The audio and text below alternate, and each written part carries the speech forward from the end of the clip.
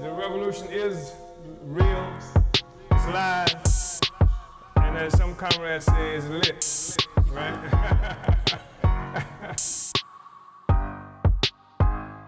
lit. Giving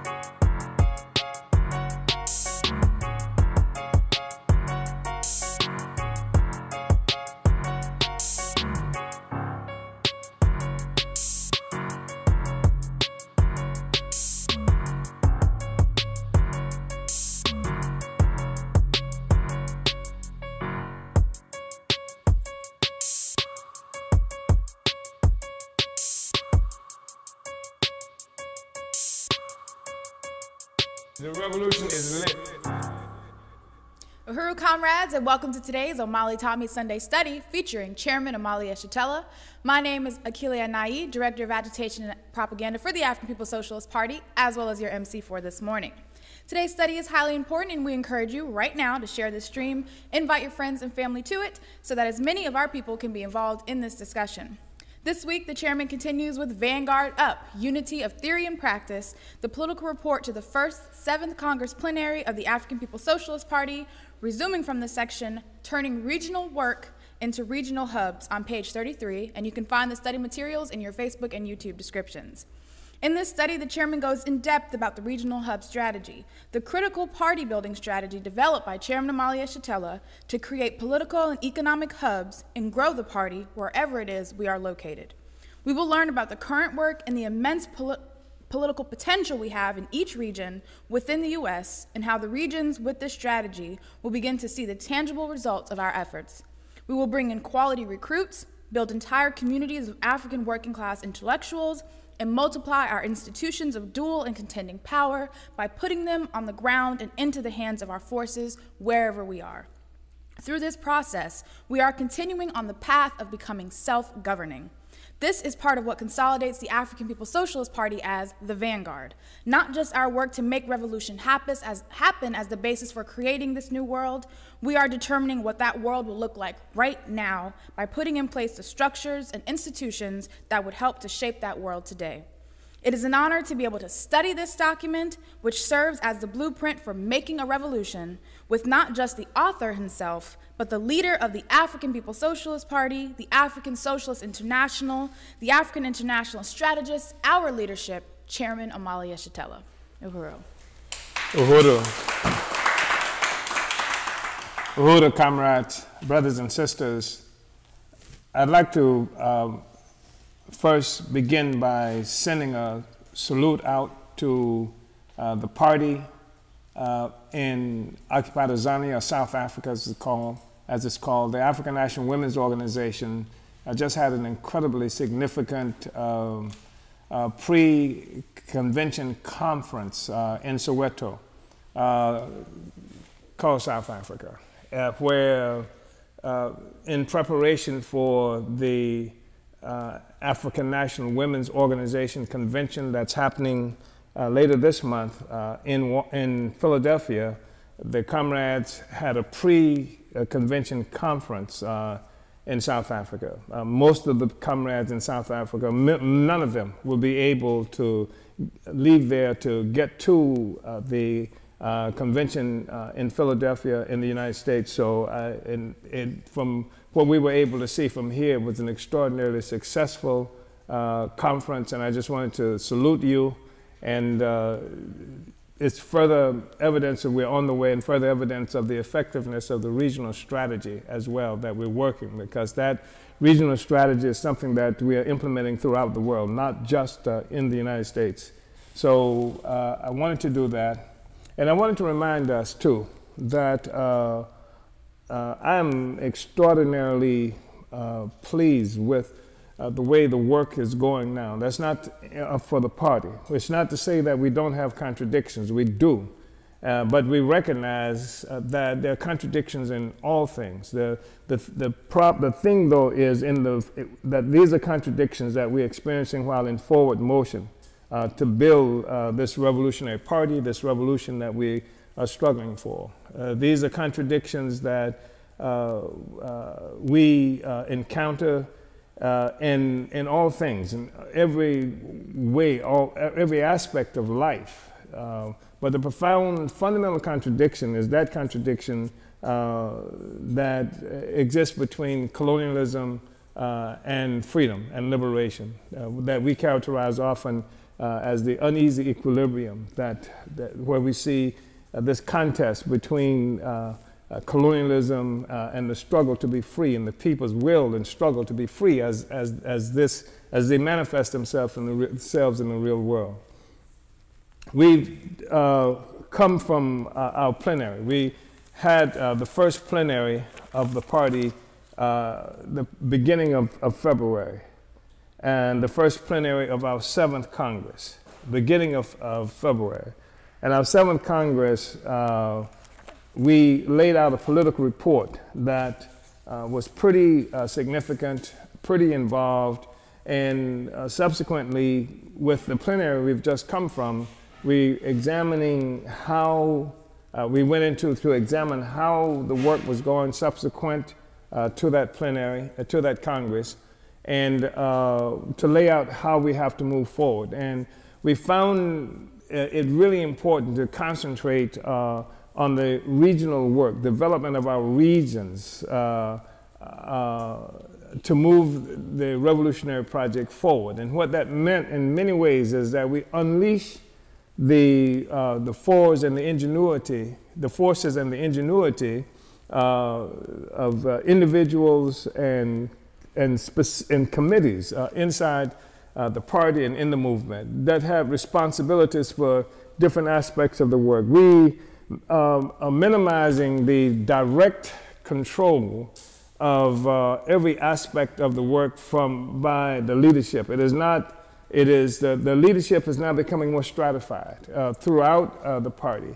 And uh, every force in the party now is, is being called on uh, to carry out uh, the projects of the party, to carry out the resolutions of the party, uh, to win membership into the party, to uh, do all the work that has to be done. And now uh, we are entrusting, the party has entrusted this work in, in the hands, to the hands of the various committees and individuals. And when we said Vanguard, when we went into our seventh Congress, we were clear that when we were talking about Vanguard, it was a call for recognition by uh, members of this party and movement to assume your responsibility of, of, leadership.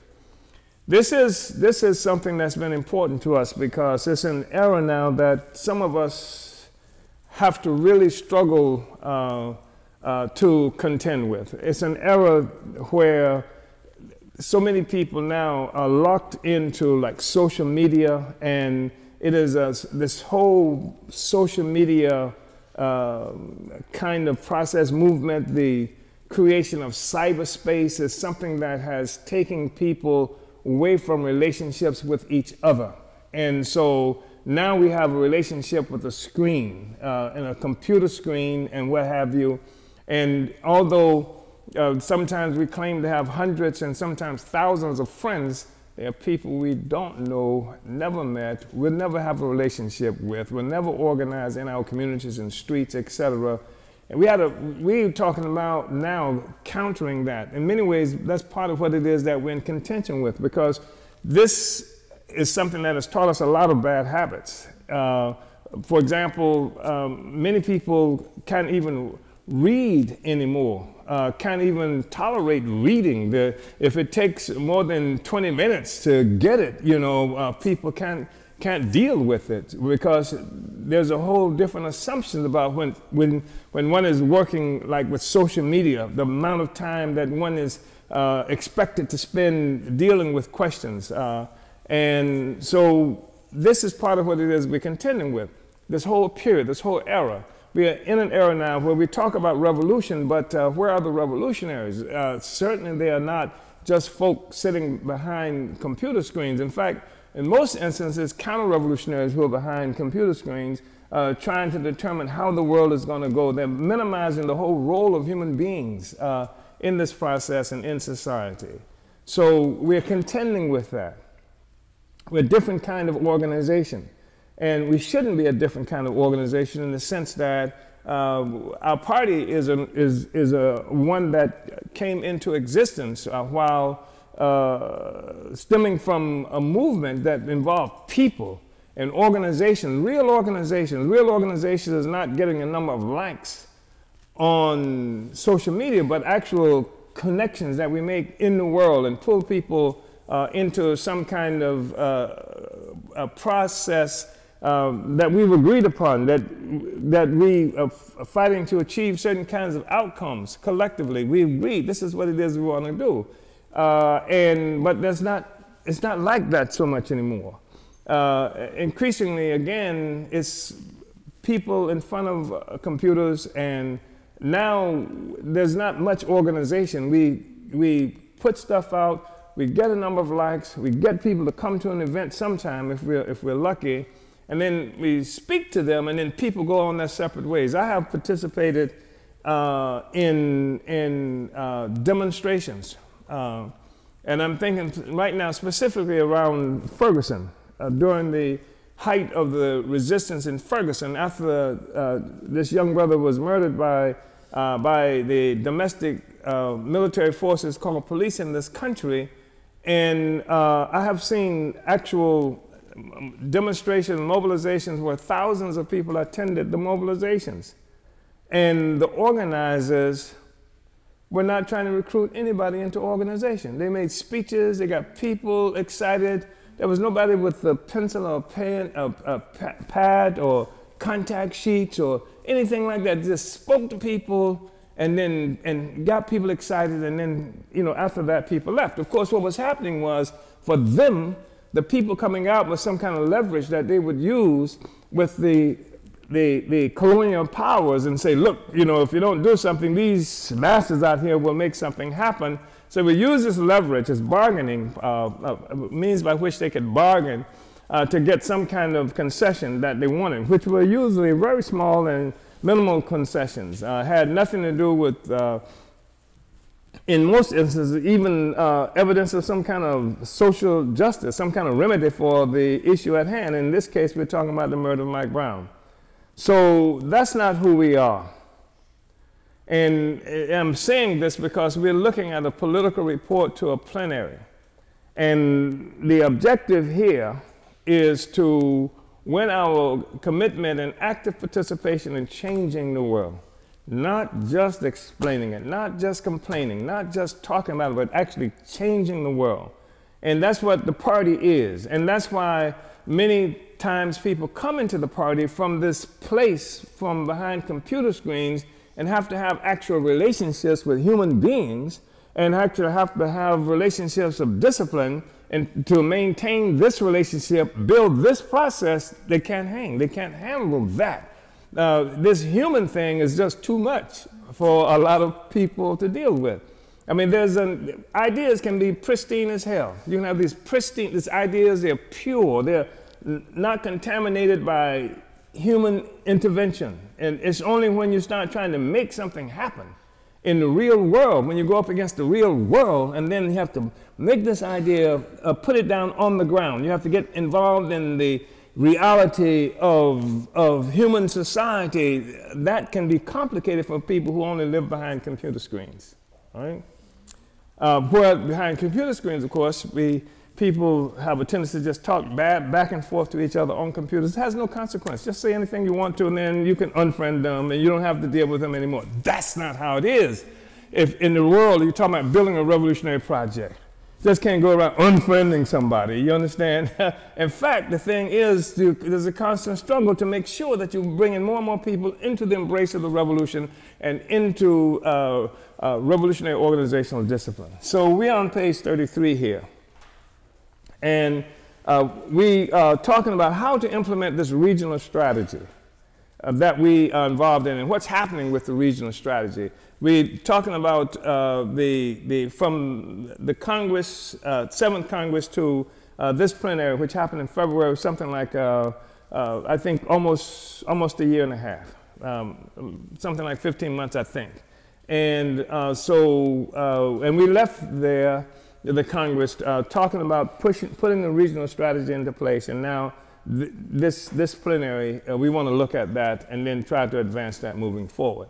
So on page 33, turning regional work into, into regional hubs. Our party has made a major accomplishment in establishing the regional strategy at our seventh Congress.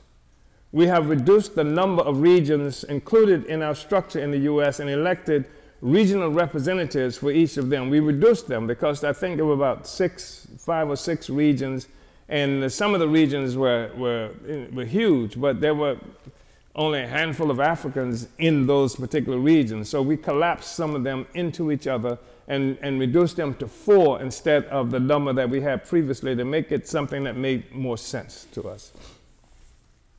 However, we are continuing to grapple with having the regions function effectively. And our regional representatives have to be one to lead the regions if our strategy is going to realize its potential. And, and, and this may sound like um, uh, a strange proposition that the regional committees have to be one to lead the regions. But the, the fact is that it's a struggle to decentralize, to, you know, we talk about democratic centralism, but to add another component of democracy, functional democracy, into this democratic centralist uh, uh, uh, process that we have now. So the thing is that the too much dependency in the structure uh, has uh, uh, been conferred upon the, the, the, the Central Committee, the leaders of the Central Committee of the party. and what we're saying now is that uh, in the Central Committee, every, every regional representative is, sits on the, on the Central Committee of the party. And we're saying that the, that regional representative has a responsibility to organize those committees in those regions and take on building those regions wherever they are located. Do it.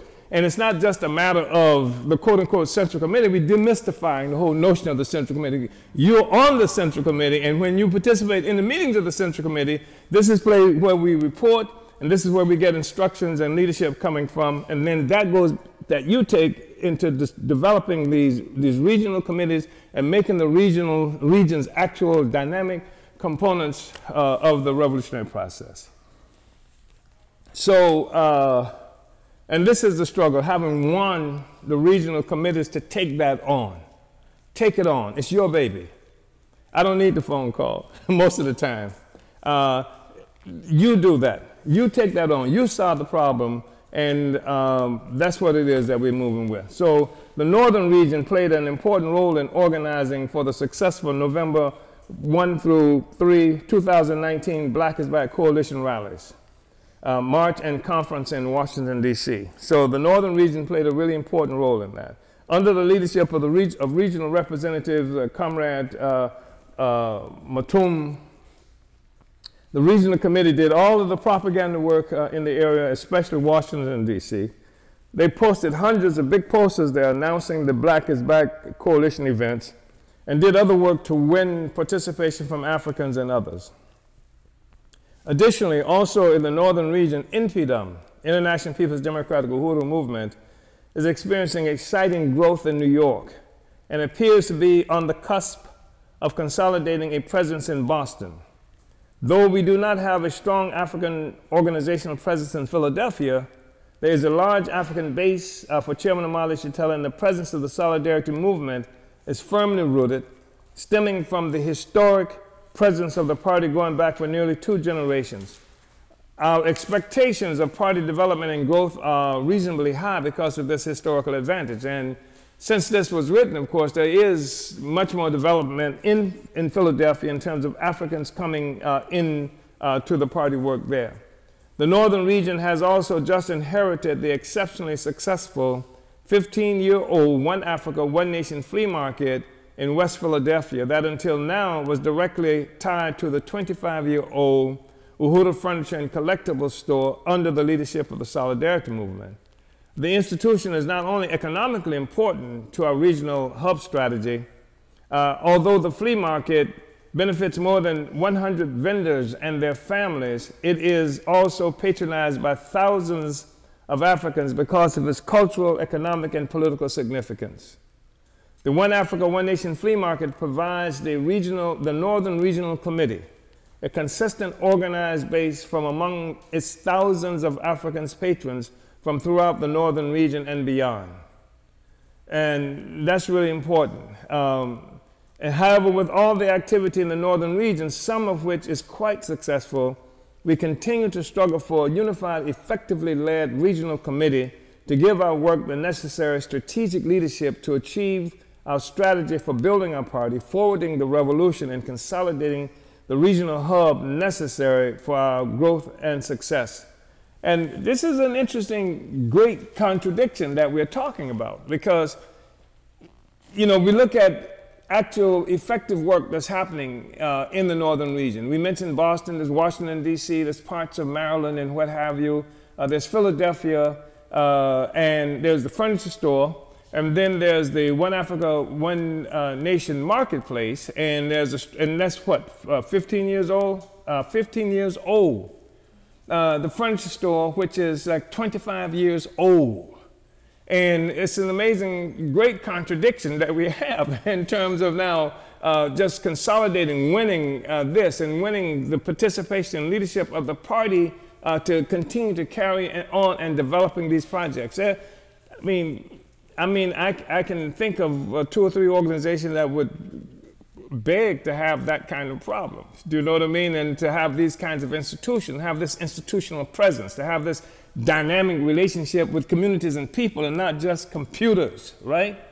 Uh, and we wanted to commend, uh, comment Nana Ya uh, Muambi for his hard work and example, um, Matum uh, for his hard work and example of developing political contacts and selling our journal, The Burning Spear. All party members in the northern region are being directed to support Matum's leadership and break from the long-standing tradition of liberalism that has undermined our work and contributed to the existing intra-party resistance to regional committee organizational work. And this is a, this is a struggle. We want to identify, I want to say it here. Uh, liberalism is a, is a rotting, it's a corroding, horrible contradiction. It's not just, oops, you know, I'm liberal again, and that's it. It, it eats the essence of the organization, undermines the morale, it corrodes everything. It makes it impossible for us to be confident that we can go someplace because we know that there are liberals who are responsible for the work. So we say this is what it is, but we can't know for sure if it's going to happen at all because of liberalism, or if it's going to happen, whether it's going to happen in an effective way because of liberalism. So uh, even as we recognize what successes there are and we recognize what has to be done, we know that it cannot be done effectively unless we're also contending with the liberalism that exists there, and that's real. And it's necessary for us to say that uh, and to call on the Northern Regional Committee uh, to, uh, to stand up and to vanguard up, to do what's necessary to, to build there in the Northeast uh, and to North and to set the kind of examples we need for all of our work. And similarly, uh, in the Southern region, we have the benefit of the party and movement presence going back to the 1960s, where in 1972 and 1976, the party and solidarity movement, respectively, were founded uh, in St. Petersburg, Florida. Currently, the party's international headquarters is located at the St. Petersburg, Florida Uhuru House, designated as one of our regional hubs of the party. The Spear newspaper and other propaganda institutions are produced in St. Petersburg. The sole party own Jico Kitchen that is responsible for major production for Uhuru Foods and Pies and local catering businesses is also located in St. Petersburg. I love this. You know, when we talk about, again, the issues and contradictions and problems, we're talking about institutions. We're talking about institutional presence where comrades are actually doing stuff and not simply sending out emails and going on social media, media and castigating this or that or et cetera. Actual organized, organized presence, institutionalized presence is there, and it presupposes a relationship with people in the community, within the colony. Additionally, it was in St. Petersburg that we launched a politically, politically pivotal candidacy and campaign for city council pursued by Agitprop leader Akile Anai in 2019 with the anti-gentrification slogan, Make the South Side Black Again. That's incredible. And the previous 2017 electoral campaign run by the party through the candidacy of Akile, along with Jesse Nevel, chair of the Uhuru Solidarity Movement, was the first to place reparations on the electoral ballot in the world. The unity through reparations demand also propelled our 2019 campaign through the city, through the city council candidacy of Director Akile. Our electoral political work has been mostly confined to the southern region, although we have done electoral politics in Oakland, California in the past. We have gone into the electoral arena without any illusions. And we've also uh, done, uh, uh, run a candidate in Philadelphia. Uh, uh, so we have gone into the electoral arena without any, through Comrade uh, Diop. We have gone into the electoral arena without any illusions about the function of bourgeois elections within the U.S. and much of the world. They are merely, they are merely nonviolent contests between contending sectors of the ruling class, and as such, they function as instruments of the state and as moderators of, of intra ruling class competition for power. And I don't know how many forces really understand this about elections. There are people who we work with who are very smart people, uh, and uh, many of them are intellectuals, uh, which is to say that they work with their brains, you know, um, you know, primarily. And, uh, but I don't think they get this, are able to really internalize this thing about what elections are they take them extremely seriously. And while we have to take elections seriously, we, they, this is a serious event that's happening, it's not how most of them see it. They actually see uh, some contest between Democrats and Republicans. And they don't see that what we look at in terms of contest between Democrats and Republicans are actually intra-class struggle. This is struggle within the ruling class for control of the state. And the thing that the elections do is provide them with the, with the uh, ability to fight uh, for control of the state for their own profits and everything else without having to put their armies in the field and shoot each other.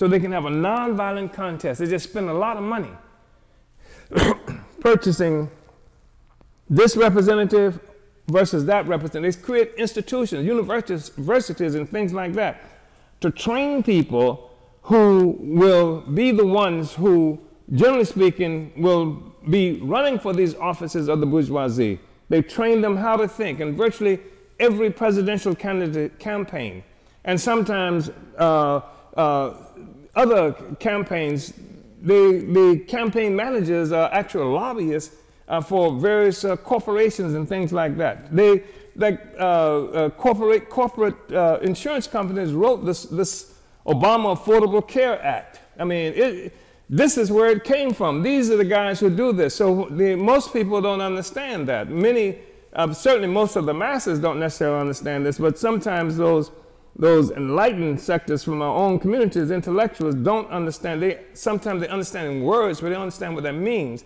And part of the reason they can't understand what that means is because they are not in contention themselves for power.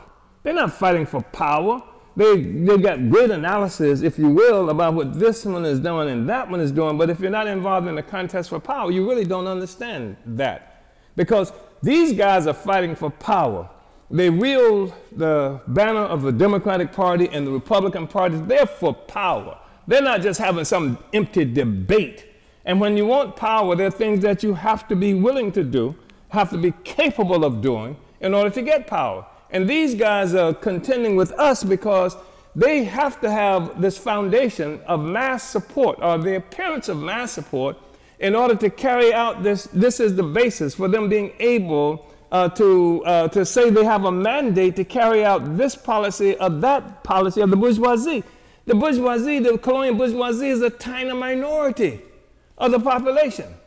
Uh, but that is something that is obscured by the fact that they got millions of people who will vote this way or that way for the program of the, of the bourgeoisie. And not only that, they will offer the, the, the interest of the bourgeoisie coming from a Democrat or from a Republican as the only legitimate options that are out there. So here the, the ruling class is holding up its interest on the Democratic banner or Republican banner uh, and then and saying this is the struggle, this is the fight. It's like sometimes you see on some of these, uh, these uh, talk uh, commercial uh, uh, TV pro uh, news programs, that's what they call themselves, news, and where they, have, they put the left wing position and the right wing position. And both of them is the bourgeois position, right? And so you end up, which one are you for, the left wing or the right wing? And this is the kind of nonsense. I was in prison, and it was really interesting because in prison, uh, uh, you've got these people who are locked up, uh, mostly colonized people, and if they ain't colonized, they what might be considered working class uh, people. Uh, certainly, it ain't the bourgeoisie that I'm locked up in the prison with. And they would have these debates about which prison guard, whether my prison guard can beat your prison guard, you know, in some kind of physical contest. And that's the similar of what we're looking at in these these elections.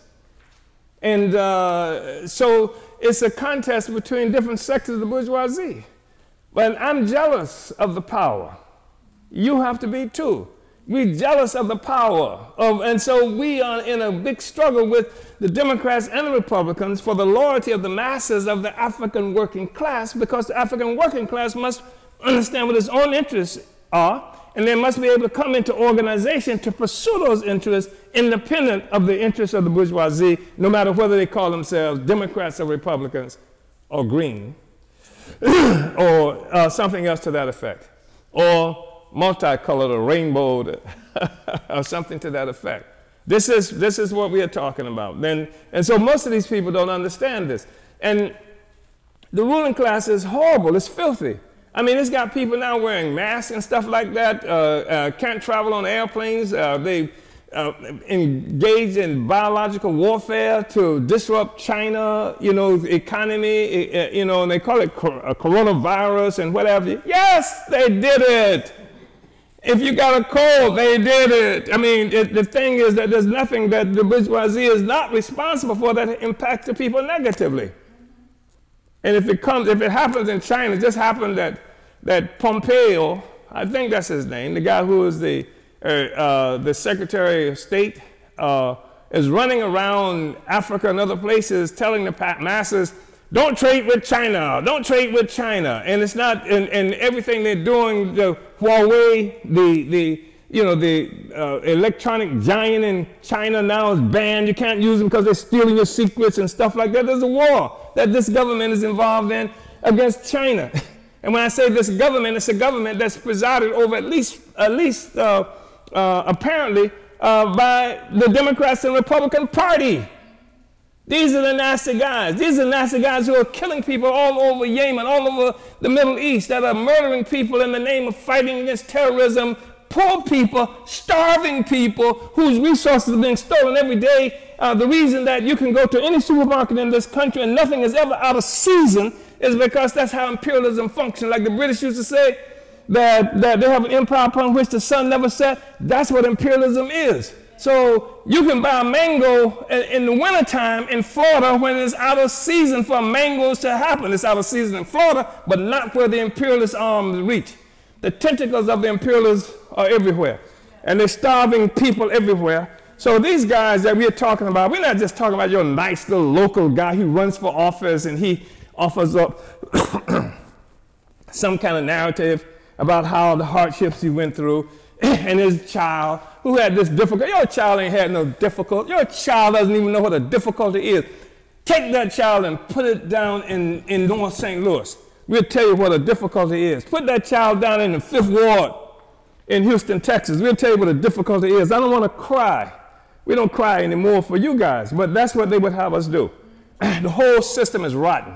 Yes. And so we involve ourselves in it not to be married to it, but to cut the rot out. To take whatever advantage we can in this process to, uh, to propel ourselves, to catapult ourselves uh, uh, into power, independent power. That's what it's about. So, anyway, uh, uh, so we say that uh, our electoral political work has been mostly confined to the southern region, although we have done electoral politics in Oakland, California in the past, and also in Philadelphia. We have gone into the electoral arena without any illusions about the function of bourgeois elections within the U.S. and much of the world. They are merely nonviolent contests between contending sectors of the ruling class, and as such, they function as instruments of the state and as moderators of intra ruling class competition for power. That's what they do. That's what the elections do.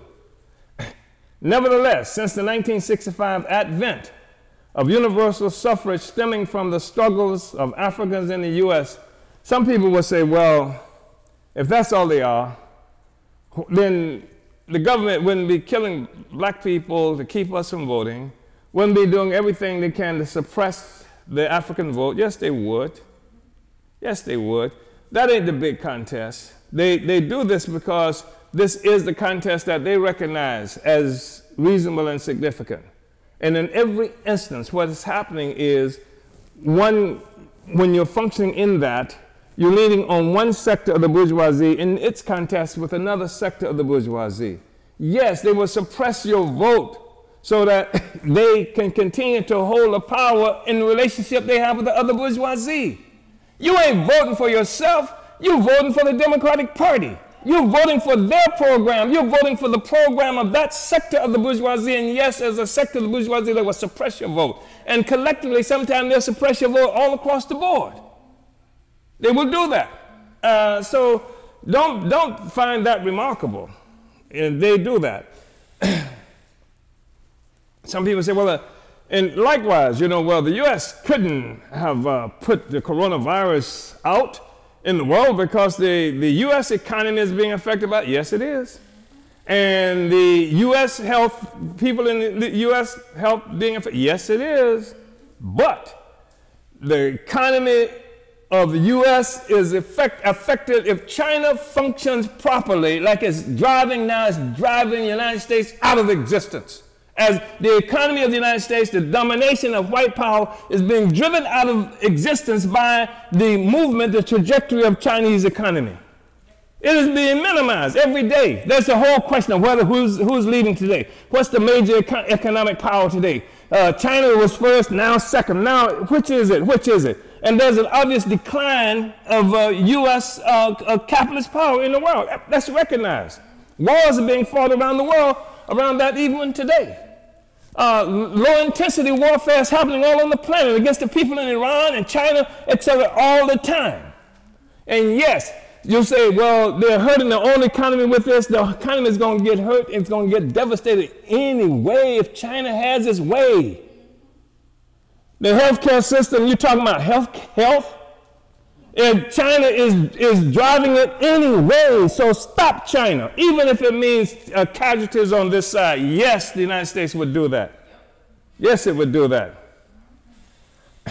So, nevertheless, since the 1965 advent of universal suffrage stemming from the struggles of Africans in the U.S., elections have been used as auditions for the African petty bourgeoisie and platforms through which the rulers can monopolize indirect authority or neo-colonial rule. So this is how the Negroes audition themselves for white power through an election. Pick that one. Know, uh, yeah. And, and and some people, you know, are not supposed to make the cut. You see that all the time. You see them even after sometimes they might get elected against the wishes of the bourgeoisie.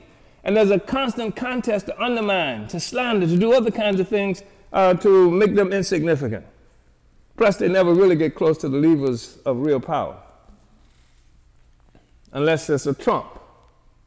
And that's something that, uh, you know, Trump actually had to marry, you know, uh, the other sector of the bourgeoisie, a really profound relationship, you know, because uh, he was, you know, he's a capitalist, he's a pig already.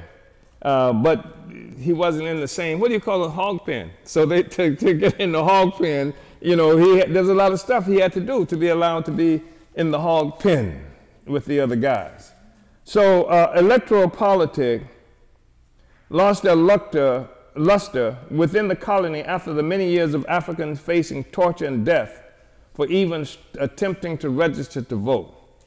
This is related to the fact that as the struggle for universal suffrage was being waged and won, the U.S. government's counterinsurgent war on our people have resulted in assassinations of our leaders, mass arrests of our organizers, and destruction of revolutionary organizations. This pushed the profound revolutionary democratic issues we were fighting for off the electoral agenda, with African workers the victims of the agenda of the democratic ruling, of the ruling Democratic Party. So here you have a situation where Africans are fighting for the right to vote, to participate in the, in the electoral process. There was no universal uh, uh, suffrage in this. Everybody couldn't vote. And so that's part of what this whole campaign was. That was a dem democratic struggle that happened in this country. The assumption being, of course, that Africans uh, able to participate, this is the mass assumption. This is the mass assumption. Assumption with these nasty Negroes, who, uh, most of whom uh, uh, commanded all of the space, political space in this electoral process, is that they could be elected and they could be, they could join the white people, the colonizer, in making stuff happen. They didn't call them colonizers, they just call them boss. Um, but uh, so, uh, and what happens is that this was denied African people. I mean, people were, you know, people like to talk today, especially the African petty bourgeoisie, uh, how, you know, our ancestors fought and died for the right to vote, and now you little dummies, uh, you know, uh, uh, won't you know, won't vote and, and somehow that's a disgrace and how you doing all this nasty stuff because our people fought and died for the right to vote. But Africans did not die for the right to vote. Africans were struggling to be free. And somebody said, this is one way you can win your freedom is through the voting. This is what people were convinced of. That's why people, people's churches were bombed, children were killed, people were assassinated throughout this country, lynched and, and uh, the rest of that jail throughout this country. People face dogs, uh, two-legged dogs, four-legged dogs, horse, horseback, electric prods, all kinds of things like this. They were starved as a consequence of just trying to register to vote. This is what African people did. And now suddenly you're going to tell us that, okay, people who went through all of that to vote, nobody in this country did as much to win the vote, the right to vote as African people. Not women, when I say women, I'm talking about white women, right? Uh, nobody, nobody, they were not lynching white women in this country. They were not bombing uh, white churches in this country. They were lynching, maiming, bombing, starving African people just for uh, trying to vote. And suddenly, you say, now you can vote, and now you won't vote. What in the hell is wrong with you? We don't have the dogs out there anymore. We don't have electric prods. We're not kicking you off the job because you vote. Why? Why won't people vote? Because they're too lazy, because they're betraying the history of our ancestors, uh, because they forgot what Martin Luther King did for us. it's silliness, etc. So, uh, what happened, of course, is that. Uh, Electoral politics, we say, lost their luster within the colony after the many years of Africans facing torture and death for even attempting to register to vote.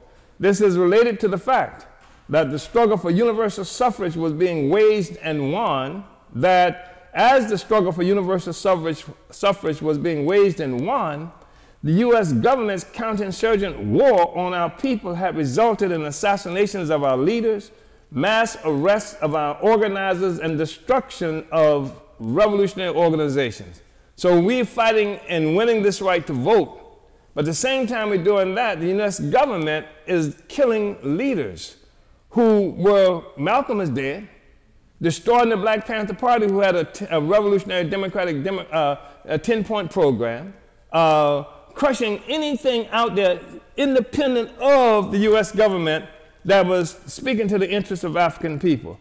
This pushed the profound revolutionary democratic issues we were fighting for off the electoral agenda, with African workers the victims of the agenda of the ruling Democratic Party. Betrayal after betrayal of our people by the Democratic Party left the majority of our people cynical about the possibility of success within the colonial capitalist electoral arena that established and defined the parameters of legitimate political activity. Our work in this arena has been to destroy the monopoly of the African petty bourgeoisie in the elected role of publicly defining our reality in a way that facilitated a colonial agenda, neo-colonialism. I want to say that uh, we also saw this happen, you know, uh, uh, in South Africa because uh, uh, and I think it's really important to uh, define that situation in South Africa because and African people are, um, worse off today. The masses of African people are worse off today in terms of the actual conditions of existence, material actual conditions of existence, than they were under apartheid. Uh, and the difference, of course, is that a handful of Africans have become filthy rich in I could have just said filthier or something to that effect. But, but, uh, uh, but it's at the expense of the masses. And these, just like in the United States, have become the symbols of, of the possibilities of black people. If we could just be like these guys, you know the system works because look at these guys, right? And so that's evidence that the system works. Uh, and that's what they've done. So now the big problem in South Africa is not the fact that white people, even today, own and control uh, uh, the vast majority of the land. I think it's 80 some odd percent of the land that uh, control all, own and control the industry. That's not, that's not the problem. The problem is crime. Who are the criminals? The black people are the criminals. Now, just yesterday in South Africa, everybody understood that Africans in South Africa were the most oppressed sectors of humanity in the world.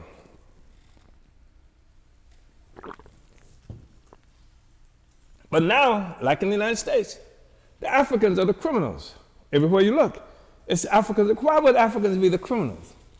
Here, Negroes, who mo most of whom were in exile, were in exile, were in exile, had left the country, and in exile, or you had a couple like um, Mandela, who was in exile in prison, because in many ways he lived in prison better than the masses of people who were outside of the prison.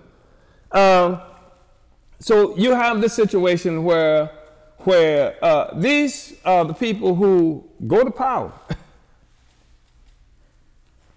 in the first year of power, I think the, uh, the budget of the government uh, increased something like 2%. But that 2% increase was, was not more resources coming to the African community. That's to say, the budget going toward African people. It was just money that was moved around. So 2% more resources now went to the African community than before. And what happened is that the people who bore the brunt and this whole struggle of humiliation and oppression and death and prison uh, in the South African regime, and then the masses of people were supposed to be part of the recipients of the revolutionary benefits, ain't got nothing. Ain't got nothing. And the revolution was supposed to change that. The revolution was to provide the houses because the white people got all the damn houses, had them then, got them now, with the exception of Zuma and, and Ramaphosa and, and uh, you know, who, other people who are around them, freedom fighters and things like that, as they characterize themselves. They, they got stuff, but the masses have nothing. So if the revolution was supposed to change all of that, and what the revolution did instead was give the white colonizers even more than they had before, and just a handful of the black people, there is no future for the masses of black people except taking it. And taking it is legitimate under revolutionary leadership, and that's why we're working so hard to build that revolution. That's why that meeting just happened on yesterday, was it?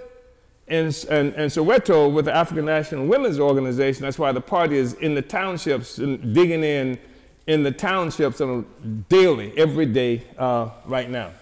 So we use the electoral arena to raise the issues that, are, that were essential to the revolution of the 60s and pushed out of the political scene by the electoral process, acting as a counterinsurgency that included raising up a traitor sector as the new leaders of our people. And that's what they did. I mean, they raised the whole traitor sector new, as new leaders of our people.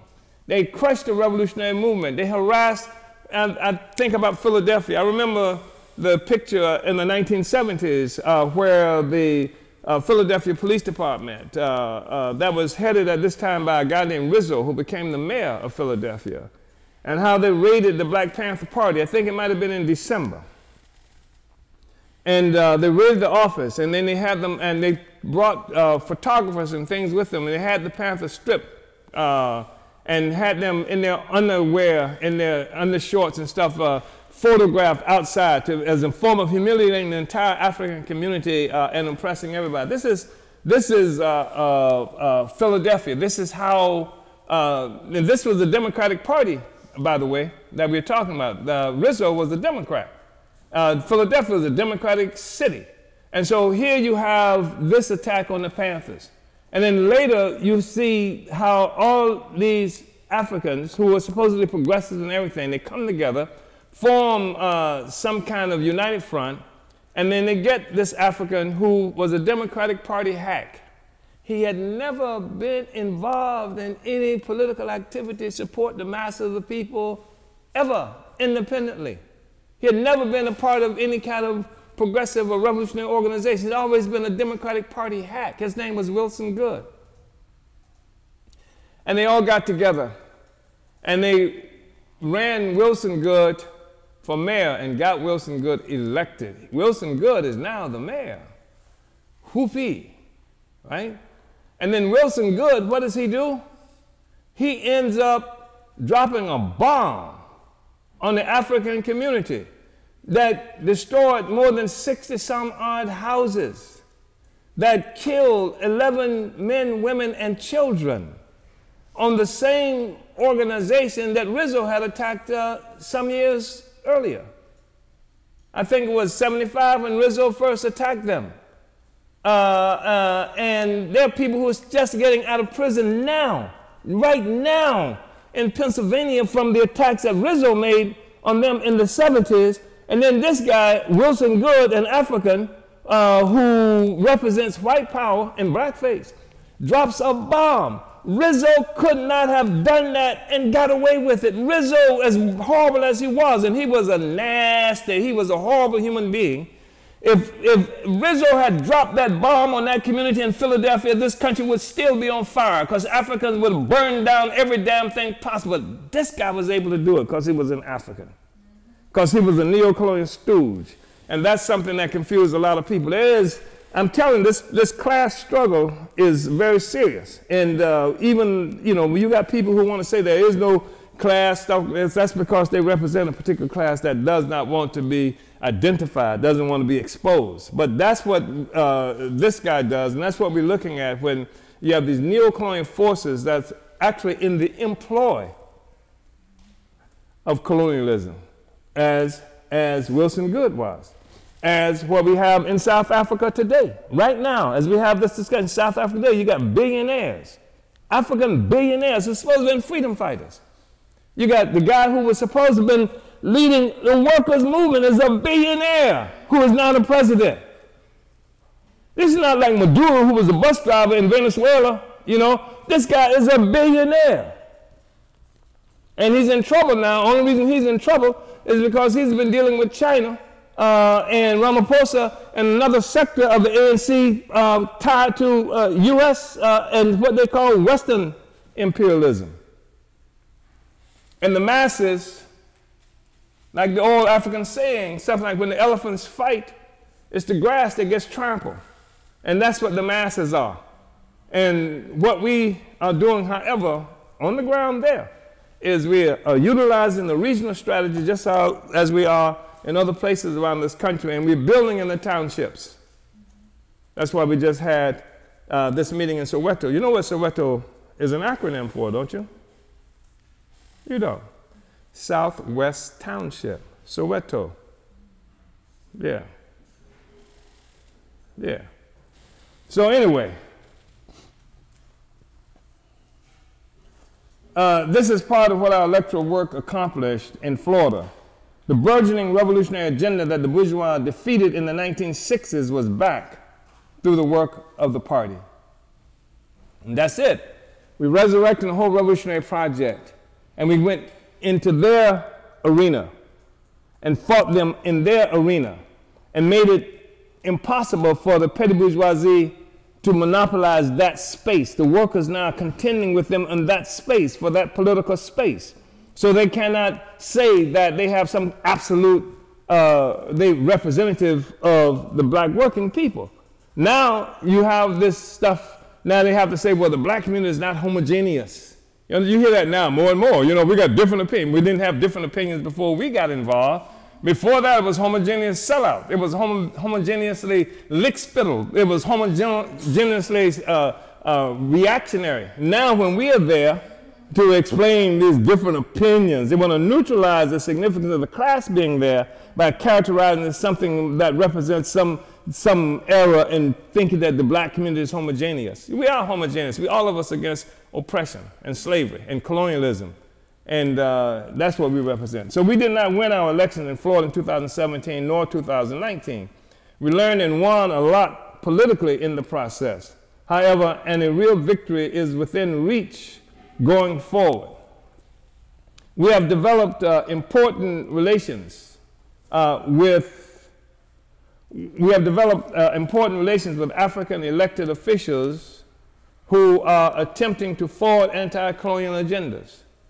It is uh, with these comrades, New York Assemblyman Charles Barron and, and St. Louis Alderman Jesse Todd, for example, that we can begin to reasonably talk about establishing an organization dedicated to advancing anti-colonial electoral political work.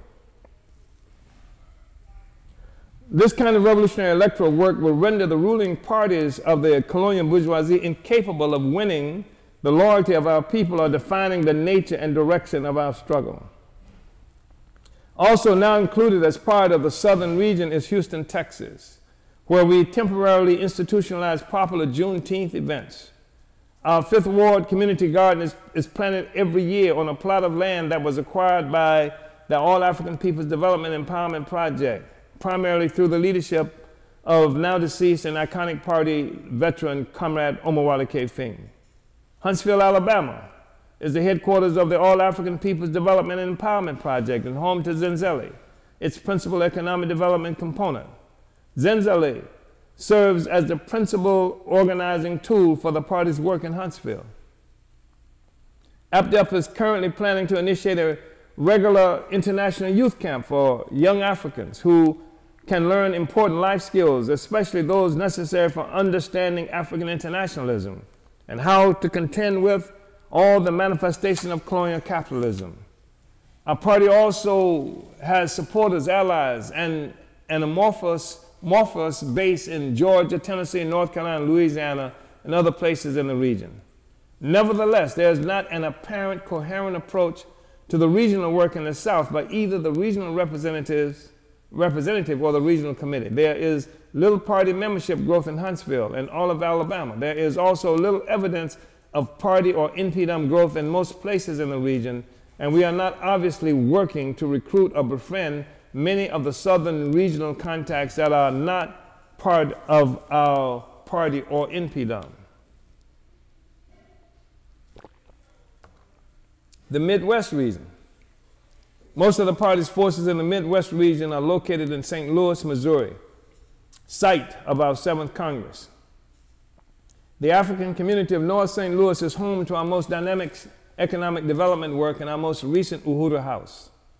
Our work in St. Louis grew out of the party's intervention in August 2014 following the rebellion of the working class of Canfield Drive in Ferguson, St. Louis, in response to the police murder and desecration of the body of 18 year old Mike Brown. Although rebe the rebellion was hijacked by the colonial bourgeoisie with the aid of the African petty bourgeoisie and aspirants who undermined the anti colonial character of the uprising, the party was able to carry out our responsibility and create anti colonial organization.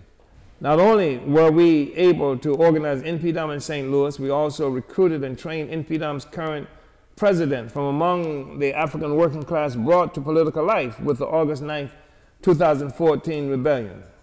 St. Louis is now its headquarters, and InPDUM has acquired its office in St. Louis. These are major accomplishments.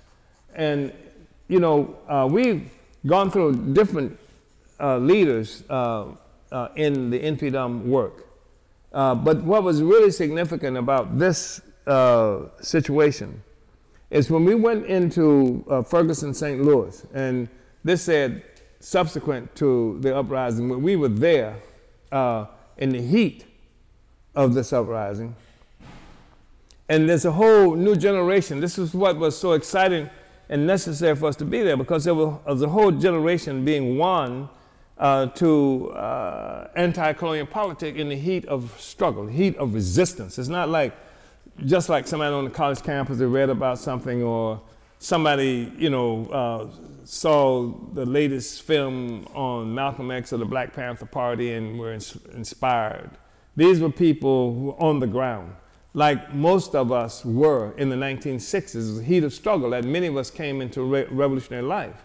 That's why it would be very difficult for to convince somebody uh, who was actually active in the 1960s in the movement that much of what we see today can be actually called organizing you know, you stand on the corner and pass out a few flowers, that's organizing. Uh, um, and so you have these people come into political life during the heat of struggle, uh, where the police, you know, shooting at people, sometimes uh, using lethal weapons, sometimes not so lethal, where you have uh, a counterinsurgency that uh, on the ground there that actually killed, quote unquote, mysteriously several activists who were engaged in that struggle on the ground in St. Louis where the white population in St. Louis bought up virtually all the guns and ammunition in St. Louis, bought them all up, where more than 100 FBI agents were sent in uh, to that city, where millions and millions of dollars were spent uh,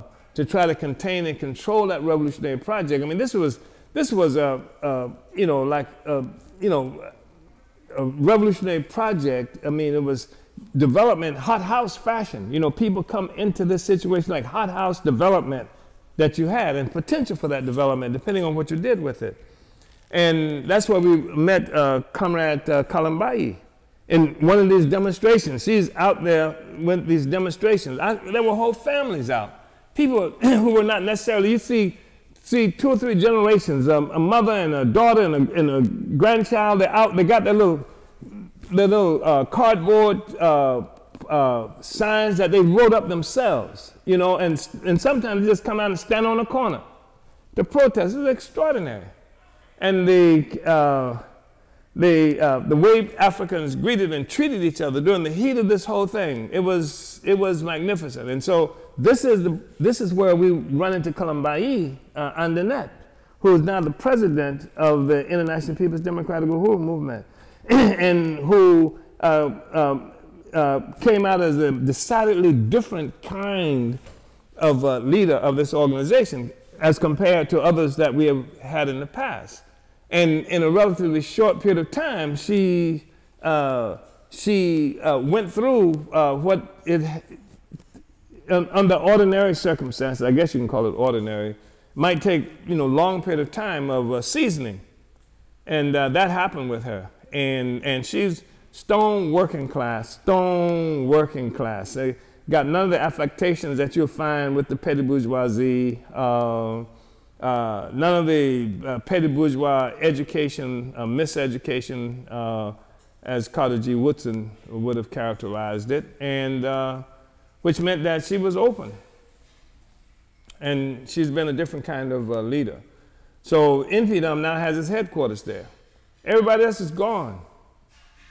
Everybody else is gone. They came in, you know, uh, they got the photo ops. You know, they were able to do selfies, you know, uh, with the police in the background and tear gas here and there, uh, etc. They got Soros money. They did. A lot of money. Them Negroes, and some of them still getting some of that money today. but we came in. that was what, five, six years? August of 2014. And, and not only are we still there, we're building, and the African community is better off as a consequence of our being there. You know. So much of our work in St. Louis is in, uh, in St. Louis, the Midwest region, and the world revolves in part around the Black Power blueprint. This is a major economic development project that encompasses the entire African community, setting examples for and influencing African anti-colonialist aspirations globally. This work also gives practical meaning to the reparations demand of the party and is a clear example of how reparations work can be actualized among masses of people, the colonized and the colonizer alike. And you know, I just have to comment on that because this reparations issue, you know, is something that's growing daily. In fact, uh, there's a university in, in California that's denied me uh, the ability to come and speak on reparations because they said that I'm anti-Semitic. And I was saying that this ain't got nothing to do with Jews. This is not a discussion on Jews. This is a discussion on reparations to African people. And you are not going to make us change this discussion, change the subject uh, by making us fight you around the question of Jews. Yeah. This, we're going to make you fight us around the question of black people. Yeah. And that's where, where we are. Um, but this, this is an important thing because uh, there's a lot of work about reparations. We, we uh, pioneered this work. And we pioneered and we wanted everybody to adopt the reparations demand. We wanted the petty bourgeoisie. We wanted sellouts. We wanted everybody to say reparations, reparations, reparations, because, you know, we know that reparations ultimately means something different to the African working class than it does to the African petty bourgeoisie. I mean, one of the leaders of this, uh, of, of, the, of the reparations movement, uh, that uh, opportunist faction that uh, came about subsequent to uh, what we had done, I think some seven years later, decided that if you wanted to get your teeth fixed, if you wanted to get your house painted or a new car, new reparations, you know, this is literally what they said. And we've got it written down. This is guy who, who uh, was characterized as the father of the reparations movement, you know. Um, uh, and uh, anyway, so, so this is, this, we have a different opinion about reparations. Although we want everybody to come out for it because it's our job, the revolutionary job. The revolutionaries will make reparations meaningful. I don't give a damn what the courts do or what the, the Congress or the legislature do. I think we should fight on all those fronts. I think those fronts should be waged. But for us, the benefit of those fights is that it assists us in winning masses of African people to the question of reparations you know, the Congress is not going to be one to reparations. The Congress will move, exp, what do you call it? Um, uh, if it's advantageous, po politically advantageous, they would do something. The courts will do something uh, if it's necessary. If the mass movement is, goes so significant, and there's an assumption that's obviously in the body politic in this country that the movement for reparations uh, is on an upsurge, and then courts would change laws and do things like that and offer some kind of uh, remedy that don't that does not challenge the actual status quo.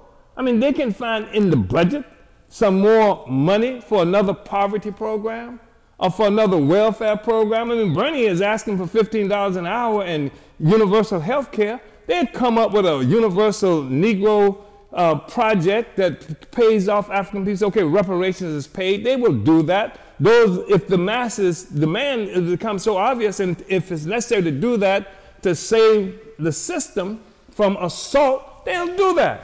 Our recognition is that we take this to the masses of the people in the appropriate way. Don't give a damn what the court says, what the legislature says, the people will take reparations. And they will, can do so under the independent leadership of the, of the African working class itself. We make it happen. The, the courts, you know, they didn't, they, they, they justified our oppression and enslavement. They're not going to put, put this on the ballot or on the agenda, the liberation of African people. We do that.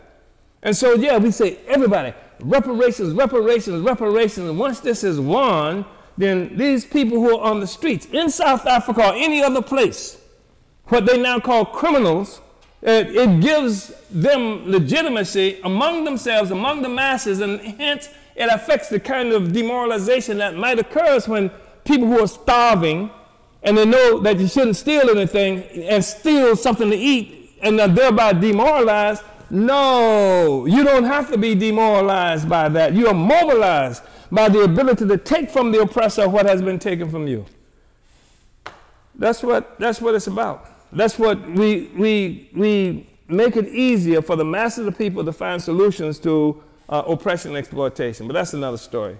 I just had to say that because the other thing about it is it gives us an opportunity to do another kind of work among the colonizers. Among the colonizers. And, and the colonizers, too, can break from a loyalty to like the system. And one way they do that is because they don't wait, they don't wait for the court to say it or for the legislature to say it. They can say, here's a project that, that speaks to ending this relationship, uh, this oppressive, exploitative relationship we have with colonized people. I'm going to unite with that. This is reparations. This is my responsibility. And because people can hide behind this thing of the United States behind the organization. What is your responsibility to this? Patriotism is something that has come about in this country and in most of the world as a consequence of a loyalty to the capitalist system itself, to the bourgeois state. That's what all patriotism is. In the United States, uh, that's why you got uh, nationalism, you know, like white, white, white nationalists, black, white nationalists, Mexican white nationalists, all kinds of white nationalists. That's patriotism to the colonial state. Now, what we're saying is in that patriotism to that state and unite with the aspiration of the colonized. Put your future there with the colonized. Join with the colonizer against the colonized. Colonizer. Join with the colonized. That's, that's, what, that's what you have an opportunity to do. And people have done, have done that and are doing that. That's why the, uh, the, the the reparations work that we do, even around uh, this Black Power blueprint, uh, has uh, immediate direct support, immediate support in some uh, 130 cities in this country and, and some 30 some odd states in this country. Because there are white people who said, we agree, we unite with this. Here is the way uh, for the future and a genuine uh, relationship that can exist between peoples. Anyway. So NPW's presence uh, in the Midwest is active, actively exposing the contradictions of neo-colonialism in St. Louis in particular. They are many. Our people are under open assault on a daily basis on every front of life. The Uhuru movement provides the only political pushback in the defense of in defense and interest of the overall African population, and especially the African working class where the colonial contradictions are most concentrated. In addition to the population removal that weaponizes a city owned land bank that hoards thousands of vacant homes and properties, the African community has to contend with the consequences of imposed poverty. This includes joblessness, food insecurity, intense competition for resources resulting in calamitous horizontal violence, and general community destabilization. Together, this is recognized as the classic strategy of counterinsurgency, population, and resource control. The St. Louis political class is characterized by often publicized corruption that has led to wrist slapping imprisonment of select government officials who have run afoul of some contending sector of the colonial bourgeoisie. Central to the corruption and the direction of the general political activity is the intent of the rulers to turn the majority African St. Louis into a majority white city.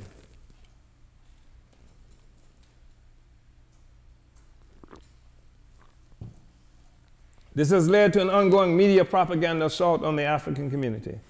Every instance of intra-colonial horizontal violence is gleefully responded, as, as, is gleefully, this has led to an ongoing media propaganda assault on the African community. Every instance of intra-colonial horizontal violence is gleefully reported as further evidence of a violence-prone community that needs to be contained for its own good. At least one neo-colonial North American, um, at least one neo-colonial North St. Louis alderman with close ties to at least one of the big developers, has gone so far as to call for bringing in the U.S. National Guard for control, to control the people. Although it is unlikely that the alderman actually expected the National Guard would be deployed to his ward, his public call for the Guard served to contribute to an atmosphere designed to facilitate the removal of Africans from the city. With help from the colonial media, even Africans are being made to made afraid to remain in the North St. Louis community where the very real dangers are exaggerated. The war on the community contributes to the transfer of hundreds of acres of North St. Louis land to agencies for use by the U.S. federal government to establish a massive new national geospatial intelligence agency headquarters. A combined force of big realtors, Colonialists, defined developers, financial institutions, and local and federal office holders have coalesced to bring about the compulsory removal of scores of families through the power of eminent domain. At the same time, a move is being consolidated by the city government to liquidate the potential for any achievement of genuine black political power. A measure to reduce the number of city wards to 14 from the existing 28 is expected to go into force in 2021. Moves are also being made by local politicians to amend the ordinance to allow workers to be hired from outside the city in order to bring in police from neighboring municipalities. The excuse being an inability to hire police from the heavily unemployed African community.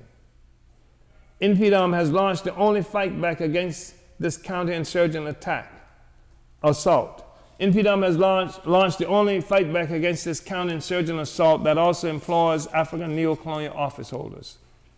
The Uhuru Movement's Keep 28 campaign, along with demonstrations and organiz organizing work against the NGA spy agency, regular public community meetings, and petition gathering to win community support for our efforts, while expanding our economic development work is the essential anti-colonial work in the U.S.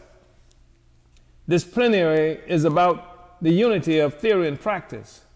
Neither theory nor practice alone is enough.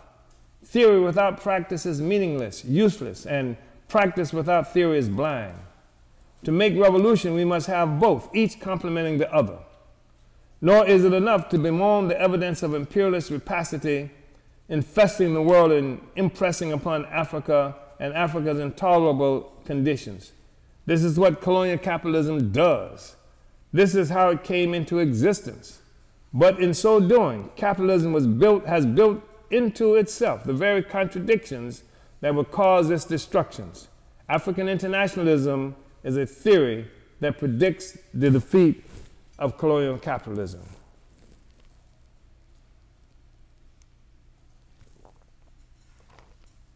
The U.S. presents us with one of the ways that the colonial capitalist ruling class manipulates economic forces. There is myriad of financial institutions to the detriment of our people and to the advancement of the ruling class and others. That includes the colonial petty bourgeoisie. Gentrification is the massive displacement of African people from our communities, part of the counterinsurgent tradition of resource and population control that keeps our community is constantly off balance and off point. Gentrification can and must be countered. countered. State Assemblyman Charles Barron, a dedicated patriotic African elected official in New York City, has stymied the effort of population removal in East New York by establishing policies resulting in his district gaining African inhabitants and keeping housing costs within an affordable range for many working class Africans. Our party is taking this on in North St. Louis. We have initiated a project of land reclamation and development that is consistent with the history of our party's struggle for self reliance and self determination, but with a much more focused and concentrated effort. Called the Black Power Blueprint, our campaign has already resulted in a trajectory in North St. Louis that has anti colonial implications for every community within the U.S. and elsewhere.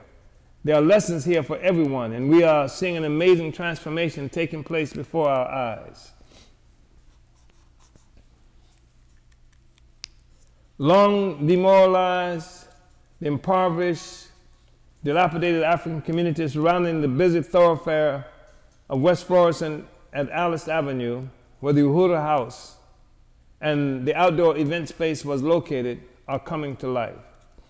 Long demoralized, the impoverished, dilapidated African communities surrounding the busy thoroughfare of West Florissant at Alice Avenue, where the Uhuru House and the outdoor event are located, are coming to life.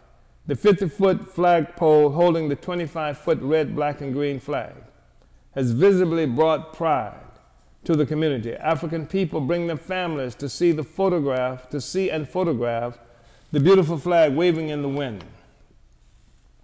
The Black Power Blueprint has begun to change the material conditions within the colony, creating a general outlook that raises reasonable expectations for a safe and prosperous life in our own black working class community. Moreover, this is not something done for the community by the government or any neo-colonial elected official, but in spite of them. The office of the deputy chair and the International People's Democratic Uhuru Movement are building a growing base of supporters from the neighborhood. One pop popular cultural worker who lives on Alice Avenue testified at a Sunday rally that his family made the decision to remain in their home rather than move because of the Black Power blueprint that is a vibrant symbol of African economic and cultural development. He said that he sees the changes in the neighborhood and noted that young Africans that he used to see on the street corners are now employed by Africans fixing up their homes.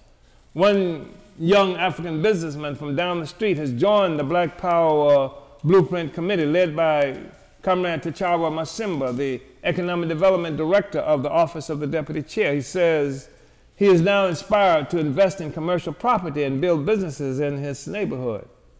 There is Mr. Gary Brooks next door to the event space who has played a leading role in creating the garden and the preacher from the church next to Mr. Brooks who offered his empty lots for parking when the big events take place. There is Sister Helen, a pastor who speaks once a month at InPDUM's faith-based Sunday rally. There is the excellent coverage from Channel 4, which interviewed T'Challa on the significance of the Black Power Blueprint and showed footage uh, of the construction that was underway. There's InPDUM's door knocking uh, on College Avenue in West Florissant on the block where the Black Power Blueprint's African Independence Workforce Housing is located next to a now empty lot that we have targeted for an outdoor basketball court. On an impoverished block, our comrades got signature, signatures on petitions and testimonials from community members saying that they too consider themselves Uhuru. the Midwest region also encompasses members in Chicago, a city of outstanding significance because of its history of resistance national demographics, and ever ripening, glaring political and social uh, colonial contradictions. Our work in St. Louis has provided the party with the ability to appoint a new regional representatives following the practical disunity that forced the resignation of the person elected to the post at our seventh Congress. Comrade Malika Zaire Alexander, our newly appointed regional Midwest regional leader, appears to be establishing the template for building our regional hubs. She has developed a plan of action that encompasses the presence of InPDUM, the Solidarity Movement, and the party. Comrade Malika has also struggled to make the regional committee a real functioning component of our organizational structure. Her approach to implementing the regional strategy will help to establish the template for building and developing our regional party work and structure.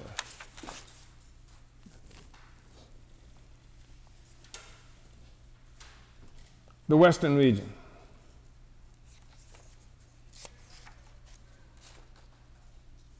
Should we do this or should we go now to, uh, we do the Western region? The party's Western region is also currently being led by a new representative, Comrade Bakri Olatunji, a veteran of our movement whose primary work is tied to economic development under the leadership of the deputy chair, was appointed to this post in order to facilitate the regional strategy.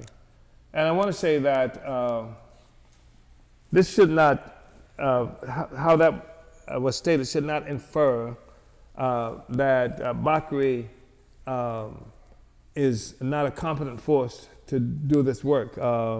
He is a veteran. At one juncture, Bakri led the, the Bobby Hutton African People's Free Clinic. We had, a, had initiated a mobile clinic in Oakland, California, where we actually took, uh, we, uh, we uh, rebuilt uh, a recreational vehicle and turned it into a mobile clinic that we took to the most impoverished uh, projects in 65th and 69th Ville in Oakland, California. And Bakri had that work. And Bakri, Bakri was a nurse, and uh, he was part of the project where we attempted to establish a clinic uh, uh, uh, on, on Foothill, uh, and that, that this, this religious order said they were going to give to us until we rejected their suggestion that we name it for Martin Luther King and instead said we wanted to name it for Bobby Hutton, you know, who was the uh, African who was murdered by the Oakland Police Department. Uh, but Bakri, you know, has been there uh, involved in this kind of work for a long period of time. In fact, it was Bakri uh, who at the time was working at Highland Hospital as a nurse who uh, called me early in the morning to let me know that Huey P. Newton uh, had been brought in and that he had been shot in the head and he said that he's dead. And this was before you know, like the media was able to say that he was dead and uh, gave us the heads up to do things to uh, really build a competent response uh, to his assassination and to how the bourgeois media tried to frame that. So Bakri, he's been there for a long time uh, in the movement. Um, so Bakri's work is to establish leadership over the task of building the party in this important region. Bakri's formal assumption of the role of Western regional representative was his acknowledgement that our regional strategy requires organization and a leading force in every region for success. Again, it was extremely important to establish the regional representatives throughout our party structures. This is the only way our regional strategy can be realized and responsibility for the dynamic growth and development of the party be shared and made operative throughout our ranks. This is the means by which we can make all our leaders and work accountable under democratic centralist principles. This makes it easier to duplicate successes and to identify and correct errors. There's much more to be said about our successes, but too little has been said about our failure and errors. The top of the list of errors, and I should say the Western region, we are uh, uh, the western region is being uh, uh, consolidated. We have forces not only in Oakland, California, but San Diego, California. We have allies and connections with Union del Barrio in San Diego and Los Angeles and also in, in uh, San Jose, California. We uh, uh, have forces in, in, in, in Seattle uh, and, and some in Oregon. And, you know, so the regional work is, is happening. And, and more and more forces are assuming responsibility within the regional structure, the regional committee. Uh, the, the top of the list of errors must include the general lack of leadership of our regional representatives. That includes but is not limited to a failure to create effectively regional, functioning regional committees. This robs the region of their strategic character. The successful dynamism of the regional work will be determined by its inclusion of all active participation of actual committees collectively defining and working out the details of the work. Every one of our regions is rich with possibilities for the growth and development of the party and the advancement of the revolutionary work to totally liberate and unite the African continent and the forcibly dispersed African nation under the leadership of the international African working class. Yet, although we have provided the structure and general blueprint for successfully carrying out the work, in most cases, and although we have provided practical and ideological training, our regional representatives have shown too little initiative, creativity, and leadership to advance and forward our revolution and our, and our party. In the first place, as has been mentioned, too few regional committees have completely assumed responsibility for leading our regions. No plans are being actually carried out to build party organization in the states and cities in most regions, and there are no coherent, practical, organized, strategically based efforts to at work to fill the ranks of existing and projected party organizations. Of course, this was a political report that was written some uh, few weeks prior to the February uh, uh, first plenary. And this is changing. I mean, there's actually change in development has occurred even since this was written. So we do, you know, see uh, development in all the areas that we're talking about. In fact, the plenary itself was, in this report, was uh, one that was designed to push it, to push it, to push it. And what we are uh, doing now is with this, going through this political report, and we will do this over and over again. We'll do this over and over again uh, really reinforcing the political report to make it something that we own, all of us own. Uh, uh, so that's why we are talking about it now. We're reminding ourselves of the mandates and resolutions that we created, established, uh, uh, the strategy, the tactics that we are using. We are reviewing that. This is what part of this whole process is about. We say that this is how the regional work uh, contributes to multiplying the distribution of the Burning newspaper hundreds of times over. This is how the party turns every African community into conscious bastions of anti-colonial resistance. This is where the revolution is, I'm telling you. It, you're turning the whole community into active, conscious opponents of colonialism. Not just the white guy don't like us, or except active, conscious opponents of colonialism, transforming entire communities. That's what, that's what it is that we are doing. Uh, that's why we have, you know, we occupy ourselves, seize, hold, uh, and develop. That's a process that we are using. We occupying communities, areas of territory, because there's no revolution that's ever been made in any place that did not occupy territory. You, that's occupation, occupying territory is fundamental to the question of revolution and even winning elections. Even uh, people, groups that we call gangs, understand this quite clearly. You occupy territory. That's why you got the red and the blue and what have. We say the red, black, and green uh, has to be uh, the flag of this whole revolutionary project, occupying territory every place.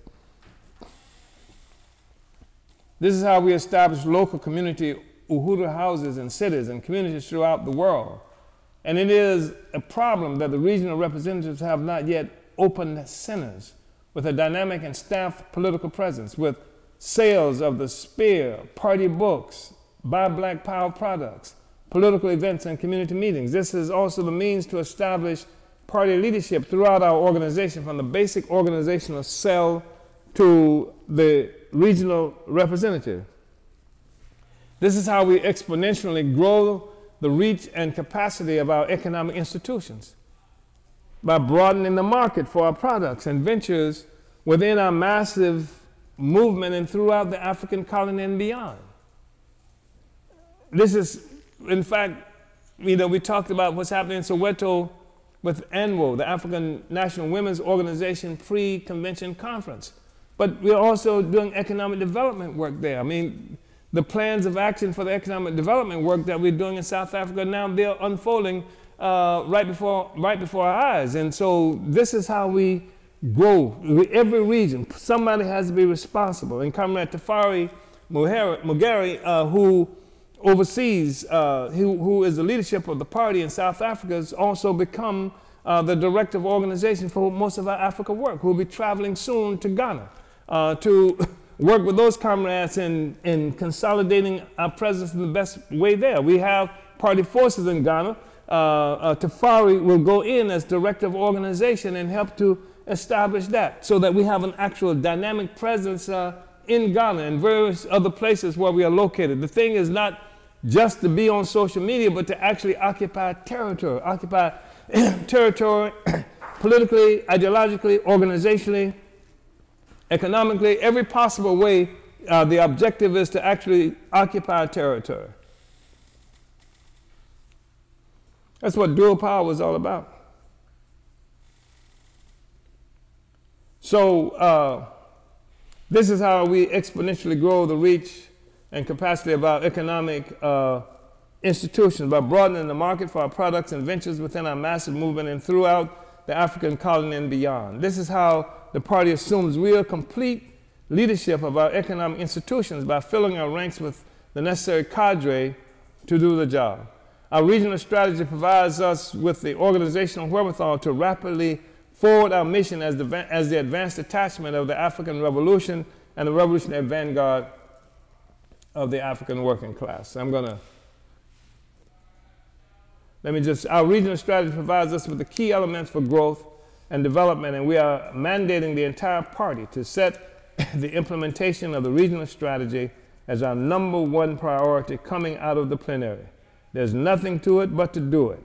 Implement the mandates at the end of this political report. Set the goals and implement the strategy. Find the office. Fundraise. Set up Buy Black Power. Go door to door in the neighborhood. Hold weekly fundraisers and spear studies by next year at this time, we will be miles ahead of where we are now. Come at. Uhuru. We want to give Chairman a round of applause for that amazing study. Um, and I just wanted to say, Chairman, that just a moment ago, um, we're still on YouTube, streaming on YouTube, but Facebook cut us off.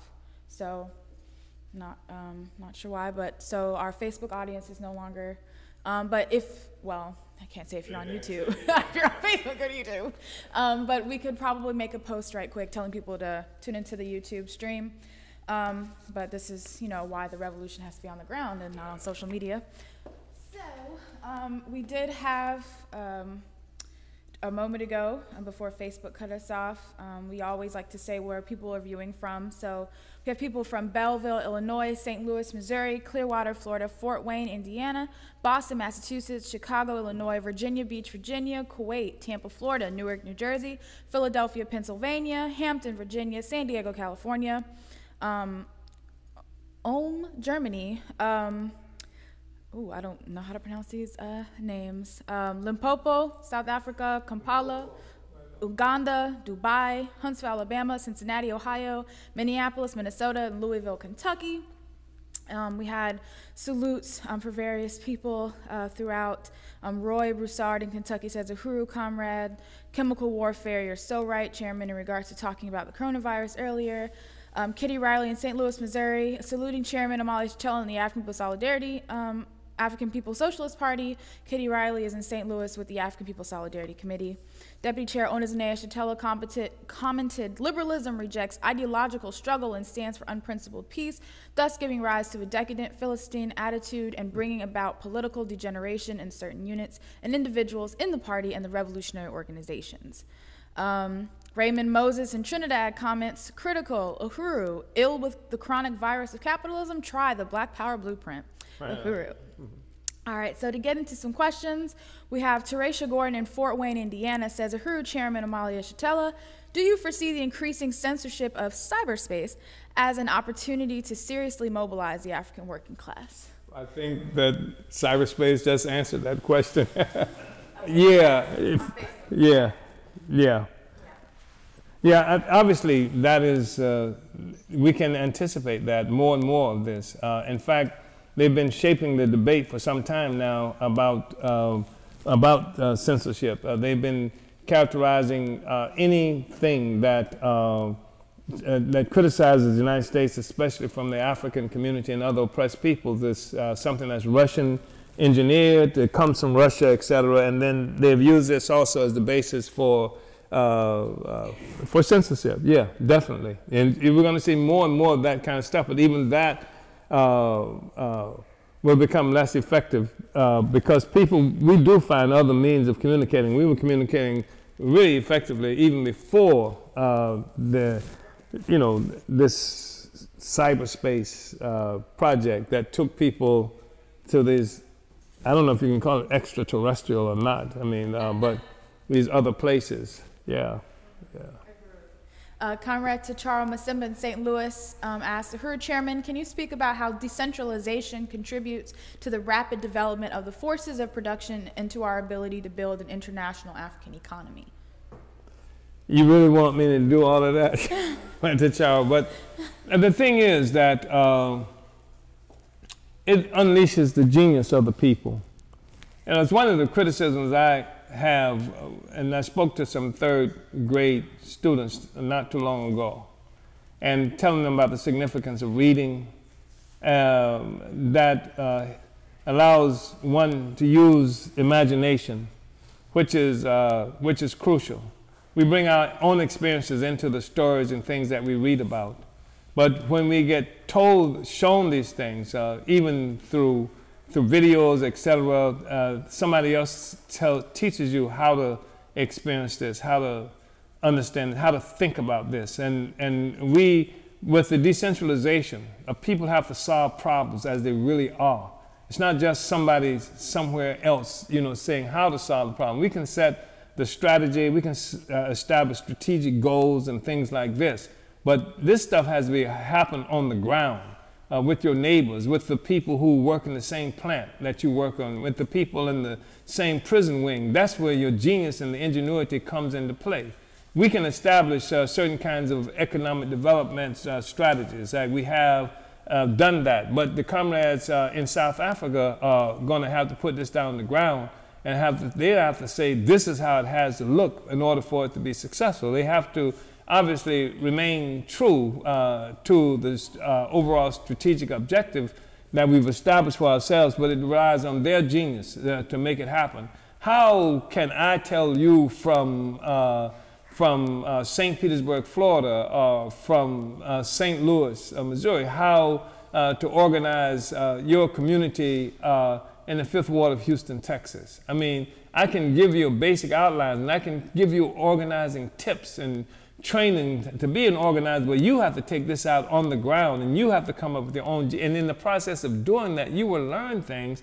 Then you will be able to teach me some things about and teach everybody else how to do this stuff. And so uh, this is this is critical, and this is un, this unleashes the genius of the people. The people have an opportunity to participate in, in defining and solving uh, the problems that we are confronted with, and that's especially true in a place like St. Louis, uh, uh, where there are so many possibilities. And of course, as we know, with every possibility, there's a thousand uh, contradictions that uh, also await us that we have to contend with. Uhuru.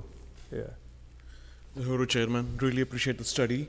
I have one question and one which will qualify as a comment or a question. So the first one that I have is like you talked about uh, power jealousy, and I wanted you to expand uh, about power jealousy in the context of dual and contending power. And the second one that I wanted to talk about, or wanted you to talk about, is also about uh, in the context of elections, the whole uh, concept of non-violent contest.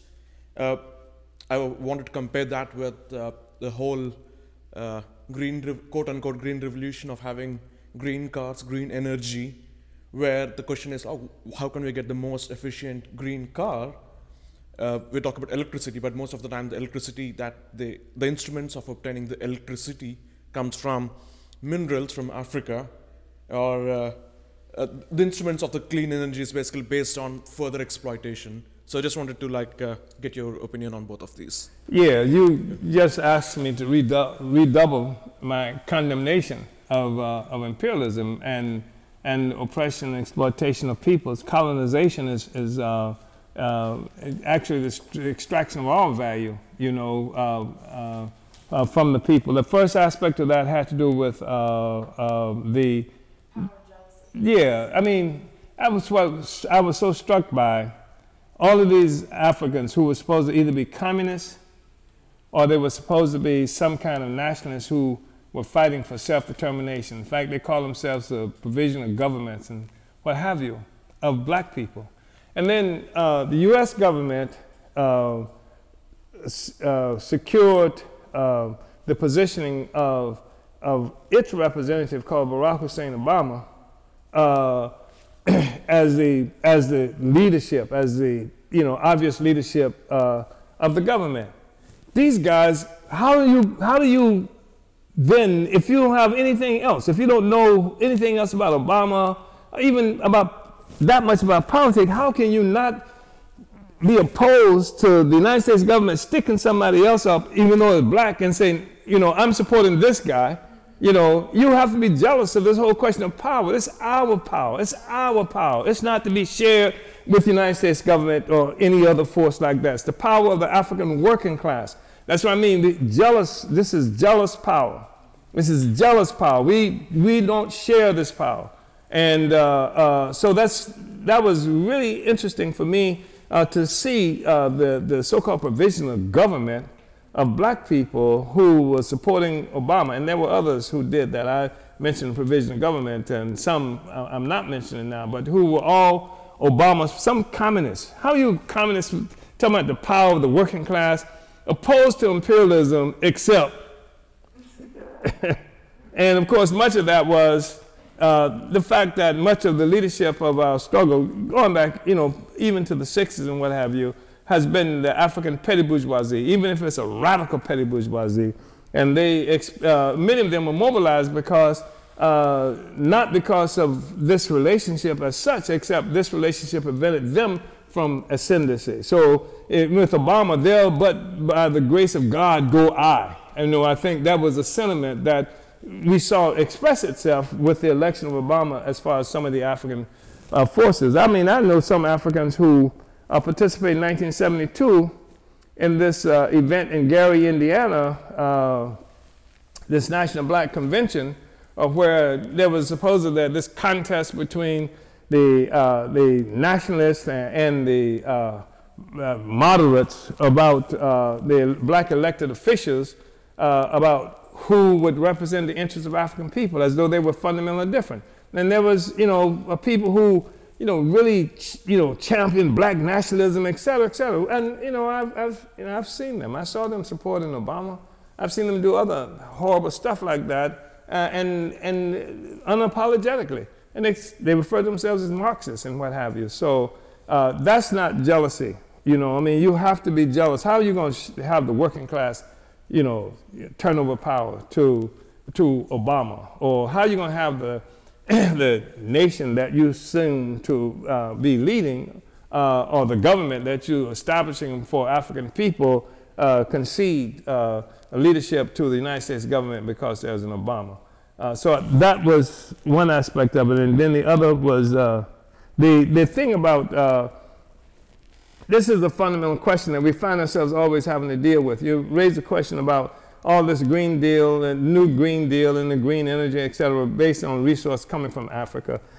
and uh, that's why African internationalism and our presence is so important uh, because that's where they will go. In many instances, they will go some of the same communists that we just talked about, some of the same, in fact, that's where you see much of the support coming for the new Green Deal.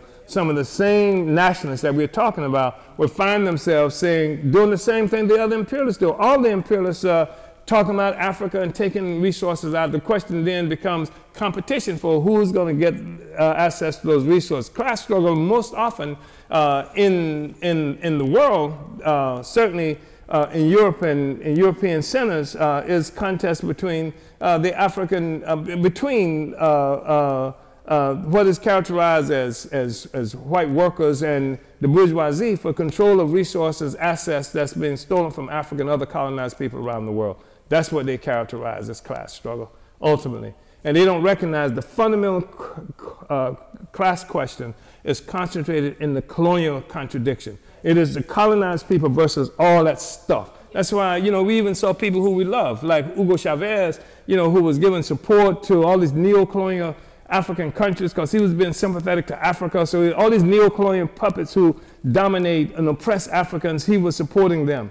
Uh, uh, and we've seen other forces do a similar thing. I'm supposed to be in Russia uh, uh sometime next year at this conference of uh, international uh, conference of people for self-determination, right? And uh, we have to win this question in this massive people, people from all around the world.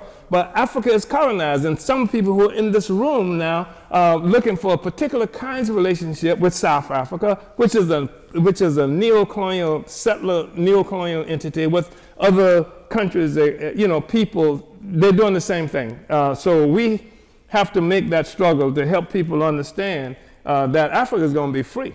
It's going to be free, and so you, if you want to really uh, uh, put your resources uh, where energy is involved, then you need to be betting on the revolution because we, our objective is to tear that stuff down. That you, you banking your future on that. I'm banking our future on that being destroyed. Uhuru. Uhuru. Yeah. Uhuru, Chairman. Well, um, we're gonna close it now. Um, bring it because we got about about five minutes left. But I just really, again, want to salute you and this amazing uh, study. Just appreciate you going through this with us today. And um, just wanted to say that uh, this, um, you know, in regards to the whole Facebook um, and YouTube thing, um, we are really encouraging people to subscribe to the Burning Spear TV YouTube page um, for um, because of this increasing issue of you know Facebook continuing to censor the chairman and the African People's Socialist Party. So like and subscribe to the Burning Spear TV on YouTube. And because of time, we want everyone to know that if your question was not answered, one of our moderators will correspond with you and make sure that the chairman sees your question. This study was brought to you by the Department of Agitation and Propaganda, winning the war of ideas. For your, for your worldwide revolutionary news and analysis, visit theburningspear.com. For revolutionary radio, dynamic shows, and music by Africans all around the world, tune into Black Power 96.3 FM, broadcasting out of St. Petersburg, Florida, and accessible via the Black Power 96 app for Apple and Android, or online at blackpower96.org. Did you unite with what you heard today and want to learn more about how you can get involved with the African People's Socialist Party? Visit apspuhuru.org for all information regarding how you can apply. Order your copy of Chairman Omali Yeshitela's latest book, Vanguard, The Advanced Detachment of the African Revolution, the political report to the 7th Congress at burningspearmarketplace.com. On March 27th to 29th, Coming up right at the end of this month, the African National Women's Organization will be holding the Black Women's Convention, Sisters United for Revolution, in Philadelphia. Registration is open for this dynamic event at anwobwc.eventbrite.com. Come see the leadership of revolutionary African women on the front lines for revolution. Featured here will be presentations from African women in our party and movement, workshops, culture, and so much more. For more information about the convention, visit convention.anwouhuru.org. The Black is Back Coalition for Social Justice, Peace, and Reparations is hosting its fourth annual electoral campaign school in St. Louis, Missouri at Aquaba Hall, 4101 West Florissant on April 10th through the 12th, themed The Ballot and the Bullet. The school is a means by which the coalition opens up a new front for black people for black self-determination within the US and elsewhere. The school will teach ordinary Africans, workers, activists, women, and youth how to run for office. The weekend of events will include presentations from members of the BIB Steering Committee and other special guests. Visit blackisbackcoalition.org for more details, including registration and our list of featured speakers. Thank you all for tuning in. Again, make sure you like and subscribe to the Burning Spear TV on YouTube to catch every episode of the Omali Taught Me Sunday Study. Uhuru.